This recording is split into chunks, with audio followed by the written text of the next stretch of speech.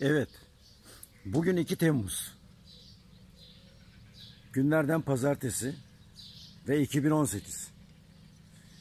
Şu anda e, dün geldiğimiz göl yazı Apolyon dedikleri gölün kenarına kamp atmıştık. Tam da böyle göl yazı köyünün merkezine. Gördüğünüz gibi işte belediyelerin çiçekliğine e, kamp attık. İşte hemen gölün kenarındayız. E, dün gerçekten çok yorulduk.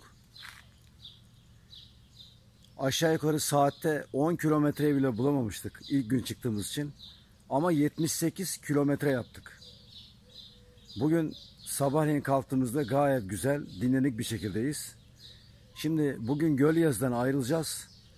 Bursa üzerinden, Gemlik'ten, Orhan Gazi'den İznik Gölü kenarına kamp yapmaya gideceğiz.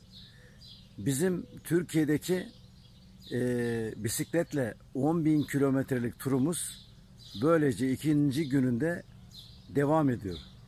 Bugün inşallah İznik'e ulaşmaya çalışacağız. İznik'te de gölün kenarında kamp atacağız. E, hep birlikte gezmeye devam edelim.